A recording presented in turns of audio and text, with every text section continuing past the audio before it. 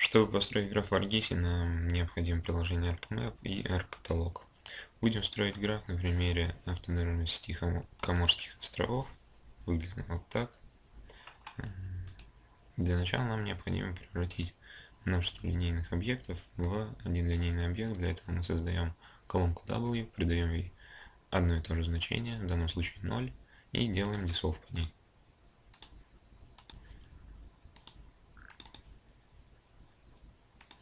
Указываем output.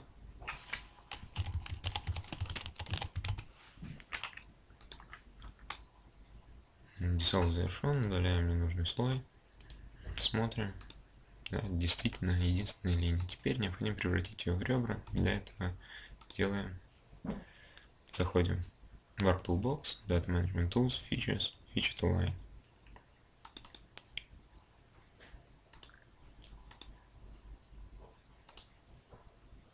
Опять задаем output. Называем его Command Pages. И выполняем процесс. Все отлично. Этот слой нам не нужен. И смотрим. Да, у нас вот 410 ребер. Нам надо теперь посчитать э, длину каждого ребра. Для этого мы добавляем колонку под названием длина Указываем тип колонки float. Нажимаем ОК. Теперь, чтобы посчитать длину, нам необходимо установить проекцию, в которой встречается слово equidistant. В данном случае two point equidistant. Считаем длину в километрах. И меняем обратно проекцию на привычный нашему взгляду числа при этом не меняются. Все, отлично.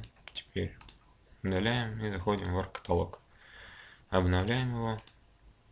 И кому Edges нажимаем правой кнопкой мыши New Network Dataset.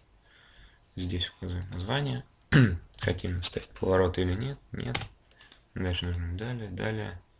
И добавляем поле, в котором будет взвешено каждое ребро в графе в километрах тип float. Все готово. Вот он его построил, обозначается вот таким значком. Сворачиваем и добавляем его на карту.